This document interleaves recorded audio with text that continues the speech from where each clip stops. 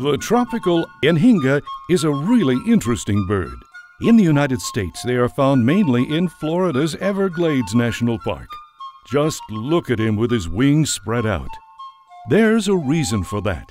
He's drying them out after diving for food. When his feathers are wet, they become heavy and make it difficult to fly. Unlike other birds, anhingas don't have oil glands which would help to coat their feathers. This trail is even named after the anhingas. They are also called water turkey or snakebird. They are a permanent resident here in the Everglades.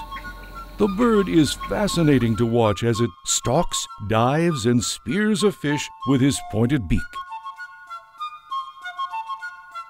In the spring, it is nest building and mating season for the anhingas. Now watch as Anhinga babies grow. Soon they are ready to leave their sheltered nest. All in all, the Anhinga is indeed a fascinating bird.